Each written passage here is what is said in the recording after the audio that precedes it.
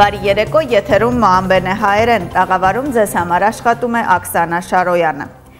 Դերևս անհայտ է, թե ինչ ձևաչափով կշարունակվեն կառավարություն ընդդիմություն բանակցությունները։ Այնուամենայնիվ իշխող թիմը ընդդիմադիր կուսակցություններին առաջարկում է թե ընդհանուր եւ թե անհատական հանդիպումներ առանձին կուսակցությունների հետ։ Մեծամասնության 100-ը 50-ի առաջարկը ուժի մեջ է մնում եւ վերջիններս մտադիր չեն այս փուլում մշակել որևէ այլ նախաձեռնություն։ Հիշեցնենք, որ երեք կայացել է խորհրդարանի ղեկավար եւ Գիրչի կուսակցության հանդիպումը, թե հաջորդիվ ում հետ կհանդիպի խորհրդարանի ղեկավարը դեռևս անհայտ է։ Մինչդեռ ընդդիմության մի մասը նշում է, որ իշխող թիմի կողմից նման ռազմավարությունը չի կարողանա խոչընդոտել ընդդիմության միասնությունը։ Ներքին գործերի նախքին նախարար եւ նախքին վարչապետ Վանո Մերաբիշվիլին լքեց քրեակատարողական 9-րդ հաստատությունը։ Վերջինիս ձերբակալման ժամկետը լրացավ, այսպես կոչված Մատրոսովի բանդի մոտ էին հավաքվել նրա կողմնակիցներն ու մտերիմները։ Մերաբիշվիլին բանդում անցկացրեց 6 տարի եւ 9 ամիս։ Հիշեցնենք, որ վերջինս ձերբակալվել էր 2013 թվականին յուրացման եւ ընտրակաշարքի մեղադրանքով։ Ավելի ուշ մեղադրվել է մայիսի 26-ի ցույցերի եւ Սանդրո Կիրգվլիանու սպանության գործով լիազորությունների չահարաշահման մեղադրանքով։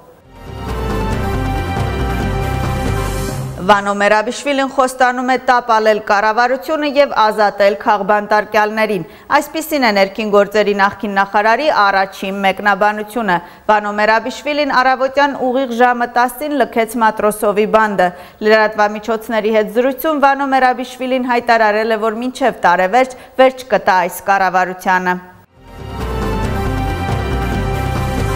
Վանո Մերաբիշվիլու իշխանությունը տապալելու մասին հայտարարությանը գնահատականներ են տալիս անկախ падգամավորներն ու իշխող թիմը։ Ըստ նրանց նա դեռ առաջնորդվում է իր իշխանության օրոք ունեցած մտածելակերպով։ Լևան Գոգիչյաիշվիլու խոսքով մինչև նրանք փնտրում են ընտրական մոդելներ, որպիսի երկրում անցկացվի ժողովրդավարական ընտրություններ, Մերաբիշվիլին առաջնորդվում է իշխանության տապալման բաղադրադոմսով, իսկ արդարադատության նախարարի խոսքով տարիներ շարունակ Մերաբիշվիլուն իր թիմակիցները ստում են այն, որ նա բանդից ժամանակից շուտ կարծակվեր արեմուտքի միջնորդությամբ, բայց այսօր բոլորը ականատես եղան, որ նա ազատ արցակվեց, երբ լրացավ ժամկետը։ Եվրոպական Վրաստանը եւ ազգային շարժումը ողջունում են նրա ազատ արցակումը։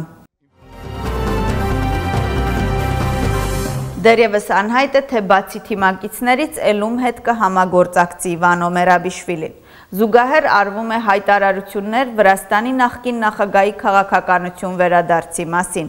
Մամուկա Խազարաձեն Գյորգի Մարգվելաշվիլիի որոշմանը հավանություն է տալիս։ Ըստ Լեոյի հիմնադրի վերջիններս շատ ընդհանրություններ ունեն եւ պատրաստ են համագործակցության։ Բացի այդ Գյորգի Մարգվելաշվիլիի որոշման հավանություն է տալիս նաեւ Գյորգի Կվիրիկաշվիլին։ Երկրի տնտեսական իրավիճակ, բարելավված մակրոտնտեսություն, կեղծված ապրանքագրեր, համապատասխան կանխարգելիչ միջոցառումներ եւ հերոստանգերությունների պարտկերի մարման գրաֆիկներ։ Սա այն գլխավոր թեմաներն էին, որի շուրջ խորհրդարանում խոսել է ֆինանսների նախարարը։ Իվանե Մաճավարյանին падգամավորների հարցերին պատասխանել է նախարարի ժամը ձևաչափում։ Գյորգի Գախարյան հանդիպել է ԱՄՆ-ի Սենատի արտաքին հարաբերությունների հանձնաժողովի գրասենյակի ղեկավարին։ Հանդիպումը կառուցողական էր։ Այս մասին գրել է Վրաստանի վարչապետը իր Twitter-յան էջում։ Հանդիպման օրակարգում եղել են Վրաստանի ինքնիշխանությանը եւ Եվրոատլանտյան ձգտումներում ԱՄՆ-ի աջակցության եւ ռազմավարական փոխհամագործակցության հարցերը։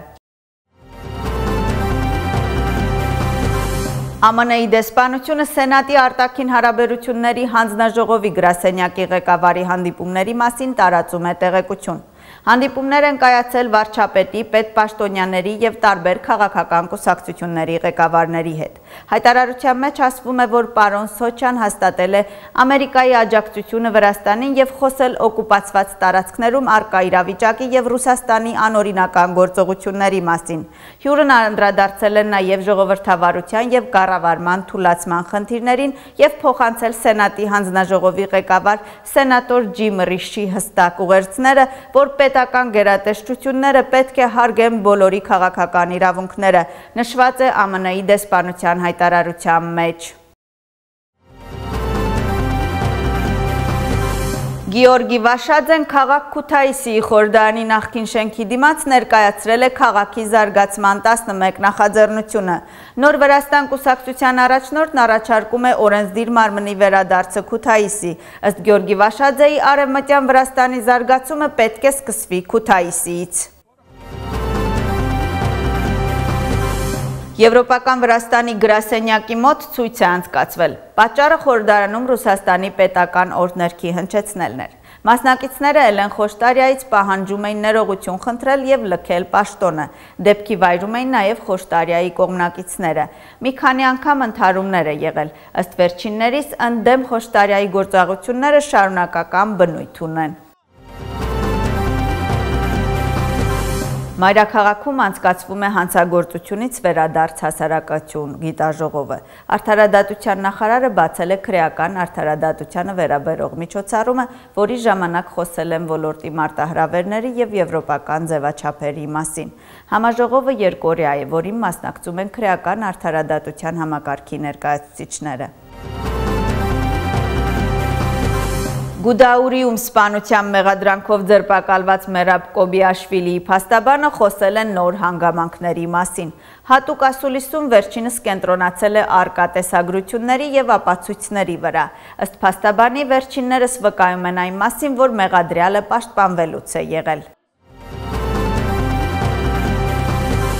Չինաստանում կորոնավիրուսից մահացությունների թիվը գերազանցել է 2200-ը ապակինվել է 16100-ից ավելին, իսկ ավելի քան 74500 քաղաքացու մոտ բացահայտվել է վարակման ախտորոշումներ։ Տվյալները հրապարակել է Չինաստանի առողջապահության գերատեսչությունը։ Հատկանշական է, որ անցյալ օրվա համեմատ նշանակալիորեն նվազել է վարակվածների թիվը։ Բացի այդ, կորոնավիրուսից մահացել է ճապոնական Diamond Princess զբոսանավի երկու ուղևոր, եւս երկու զոհ կա Իրաքի քաղաք Ղումում։ Սա մերձավոր արև արևելքում կորոնավիրուսից մահացության գրանցված առաջին դեպքն է։